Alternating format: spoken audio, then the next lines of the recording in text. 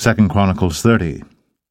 And Hezekiah sent to all Israel and Judah, and wrote letters also to Ephraim and Manasseh, that they should come to the house of the Lord at Jerusalem, to keep the Passover unto the Lord God of Israel.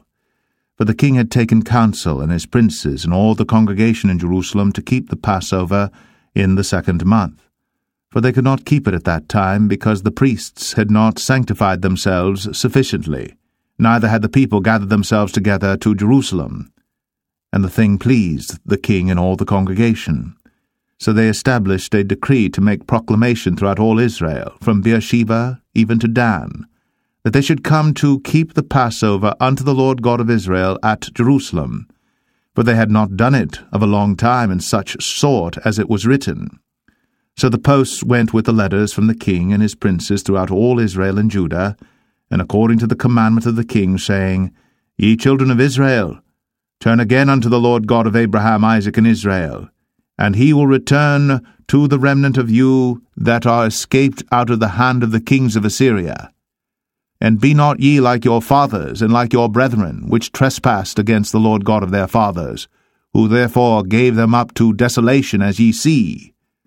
Now be ye not stiff necked, as your fathers were, but yield yourselves unto the Lord, and enter into his sanctuary, which he hath sanctified for ever, and serve the Lord your God, that the fierceness of his wrath may turn away from you.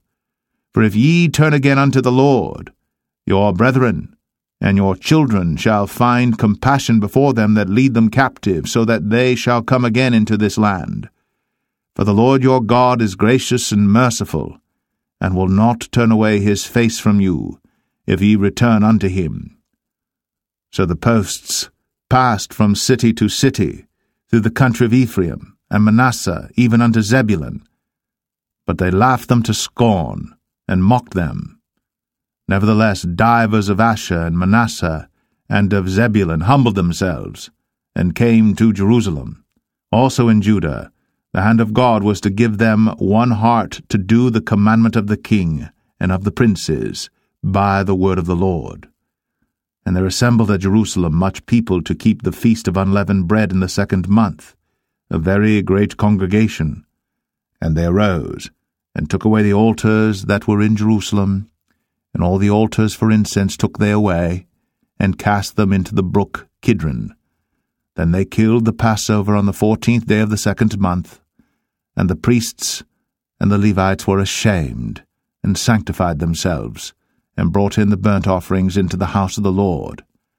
And they stood in their place after their manner, according to the law of Moses, the man of God. The priests sprinkled the blood which they received of the hand of the Levites. For there were many in the congregation that were not sanctified.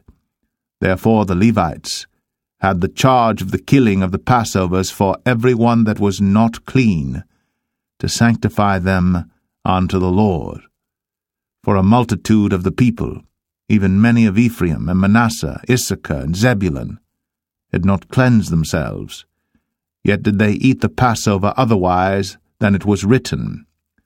But Hezekiah prayed for them, saying, The good Lord pardon every one that prepareth his heart to seek God, the Lord God of his fathers, though he be not cleansed according to the purification of the sanctuary. And the Lord hearkened to Hezekiah, and healed the people. And the children of Israel that were present at Jerusalem kept the feast of unleavened bread seven days with great gladness. And the Levites and the priests praised the Lord day by day, singing with loud instruments unto the Lord. And Hezekiah spake comfortably unto all the Levites that taught the good knowledge of the Lord. And they did eat throughout the feast seven days, offering peace offerings, and making confession to the Lord God of their fathers. And the whole assembly took counsel to keep other seven days, and they kept other seven days with gladness.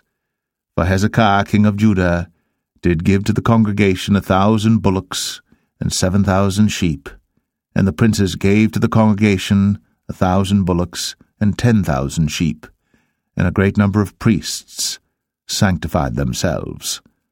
And all the congregation of Judah with the priests and the Levites, and all the congregation that came out of Israel, and the strangers that came out of the land of Israel, and that dwelt in Judah, rejoiced.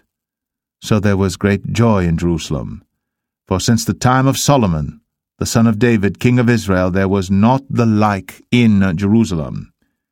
Then the priests, the Levites arose, and blessed the people, and their voice was heard, and their prayer came up to his holy dwelling place, even unto heaven.